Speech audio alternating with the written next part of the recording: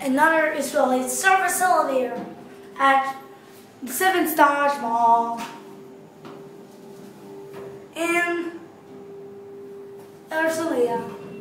Here's the office number, And oh look of this. Oh, there's the garage, but where's the garage?